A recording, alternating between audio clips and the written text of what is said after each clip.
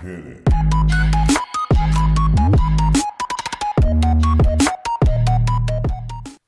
Good day, YouTube. Robert J. Morris here, and I have another update regarding Thomas David House of Deegan from his March 17, 2016 trial. I have here some clips. I'll play some highlights. It's where he is cross examining State Trooper First Class KM Williams. And it's uh, pretty lengthy, so I will just kind of buzz through some of the highlights of the clips and provide for you, as always, links to the videos in the description box below.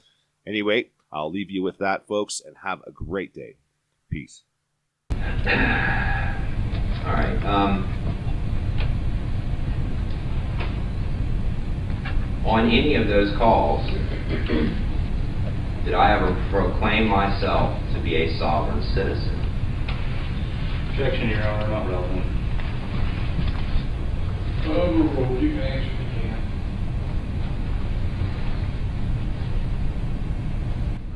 I, I can't recall if you have or not. Okay.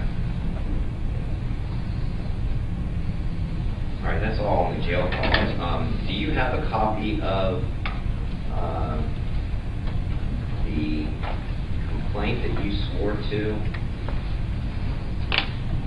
Not sitting here with me, no, sir. The only thing I have is this transcript you provided me. Okay. See if I can find it here.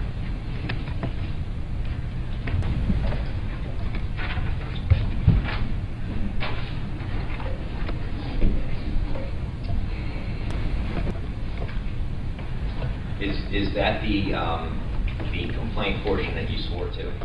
Yes, sir. Okay. And in there, um, you said that I proclaim myself to be a sovereign citizen. What do you, what information do you base that upon?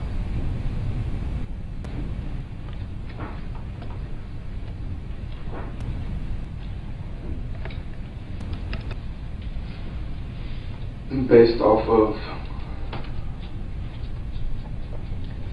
my past dealings with people that are anti-government, um, normally claim themselves to be sovereign citizens. Okay, so have you had any past dealings with me? I have not. Okay, and um, do you have evidence that I'm anti-government?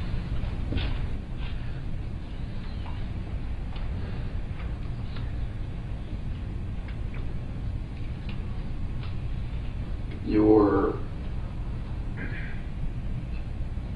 continued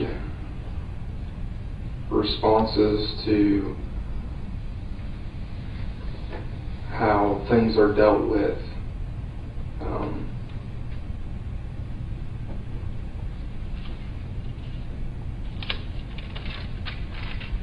and your refusal of the current governmental process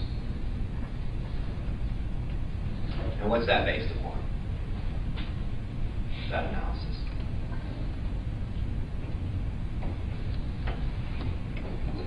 Your continued um, filings with the, the writs for habeas corpus and your um,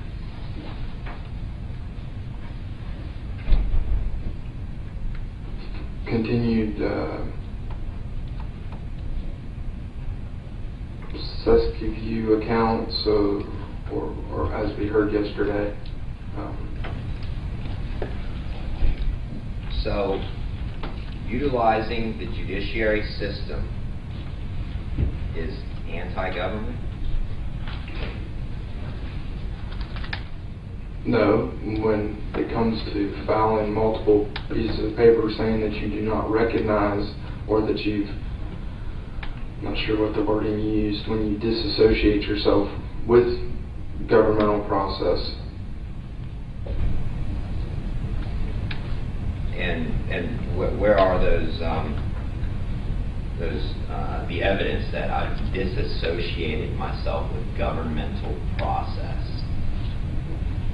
You said it yesterday multiple times in your YouTube video um, that you repatriated, I think is the verbiage that you used. it would be expatriated. Okay, expatriated yourself. So you expatriated yourself from the current governmental process and you do not recognize our governmental dealings. Is that, is how Um, I at, at the point of, I mean, we're, we're talking about this, this, um, sworn complaint. I mean, we've, we've went past the complaint and we've went somewhere else, so I'm not sure where, where, what your question is in, in regards to what. Okay, the, the evidence that I proclaim myself to be a sovereign citizen. Would, would, would you read that off there? It's, it's your statement, your sworn statement. Um, and there was somewhere in there where you said, I proclaim myself to be a sovereign citizen. Most likely it would be at the very beginning, because I started at the top and went down. Which, which part? Self- Self-proclaimed, I think you may have put it as. I'm sorry, you have my only copy, so I I don't have a copy. I'm asking you what, what part you would like me to read. Um, The the part where you said self-proclaimed, How far back would you like me to read? that sentence.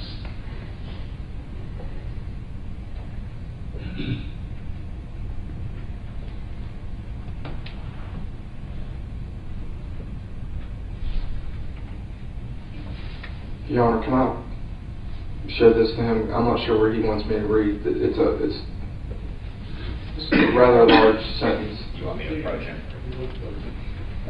I'm sorry, I I only have one copy. Okay, it'll be this one right here. So where do you want me to start? Um, You, you, yeah, yeah, you can start right there, that's fine.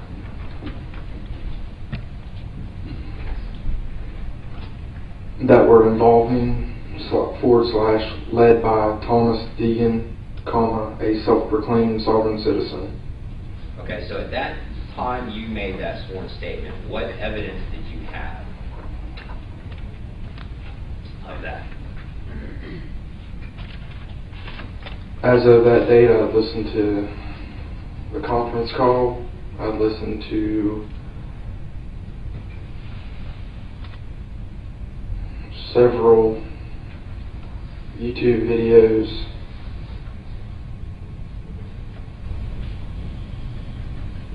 Well, specifically for that statement, that's a sworn statement and a complaint to a magistrate court. And so there's got to be a factual basis behind that statement. Where did you get those facts from? Objection, Your Honor, ask and answer. Well, if he's already answered the question, he can answer it the same way, but that is a little bit of a different question, so if you can answer it, please do. Can you have him repeat his question, please, Your Honor? Um, I'm not sure exactly how I phrased that one. The, the facts to sustain that sworn statement that I'm self-proclaimed. So, um,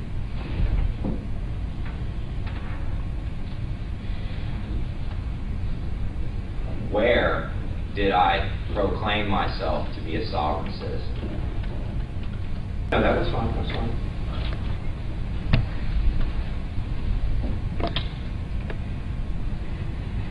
Okay, now in there you said that, um,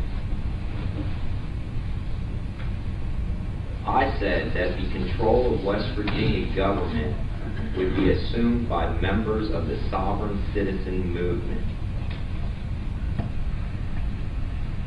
Can you identify the evidence you had at that time to support that statement? That's what it states in the transcript, is that you all will put your own people in office. Well, I'm, I'm going by your exact words, so if you can find your exact words from that complaint in there, please go ahead. Please. Absolutely.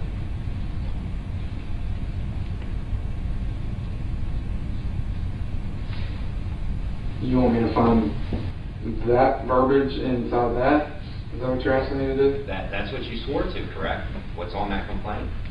Do, do you know the line I'm speaking of? Yes. Okay. Following the removal of these officials, uh, control of the West Virginia government will be assumed by the members of the sovereign citizen movement. Okay, so can, can you find that verbiage in there?